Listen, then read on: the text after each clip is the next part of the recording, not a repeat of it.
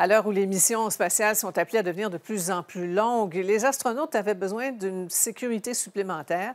Mais grâce à une nouvelle technologie testée à Montréal, ils pourraient bientôt avoir accès à des services de télémédecine. Étienne Malouin. David Saint-Jacques voit grand pour les prochaines missions de l'Agence spatiale canadienne. Mais avant de s'aventurer vers la Lune ou même Mars, L'astronaute, qui est également médecin, est d'avis que l'on doit améliorer l'autonomie médicale des membres d'équipage. La logique, c'est que plus la mission est en espace profond, plus la mission est loin, plus la le fragile être humain à bord devient, le, si on veut, le maillon faible. C'est une machine comme celle développée par l'entreprise canadienne Bone qui pourrait permettre aux astronautes de s'aventurer plus loin.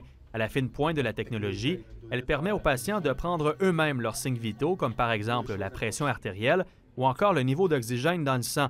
L'objectif est d'assurer un suivi de l'état de santé de la personne, une prise de données présentement impossible dans l'espace.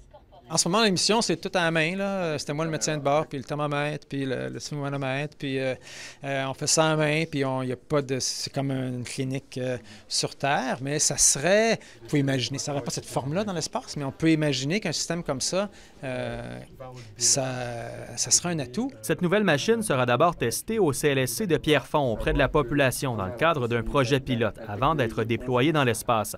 L'objectif est d'assurer le bon fonctionnement de l'appareil. Avec le déploiement aussi de pouvoir s'assurer que les données ou bien la technologie est rodée parfaitement. Et on peut dire que la course vers Mars est bel et bien lancée.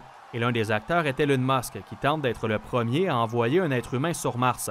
Le fondateur de SpaceX est d'ailleurs devenu lundi, selon Bloomberg, l'homme le plus riche de l'histoire avec une fortune estimée à 348 milliards de dollars. L'exploration de Mars pour des fins scientifiques, elle se fait très, très bien par le biais de robots et de sondes qui ne mettent pas la vie d'astronautes en danger. Si on veut aller vers Mars avec des êtres humains, ben, c'est probablement parce qu'on veut démontrer sa supériorité. La grande question maintenant, à quel moment un premier humain s'y rendra? Est-ce qu'on va le voir dans, notre vivant? Je pense que les premiers êtres humains qui vont y aller, ils sont nés, mais c'est encore des enfants. C'est peut-être un enfant que vous connaissez. Étienne Malouin, TVA Nouvelle, Montréal.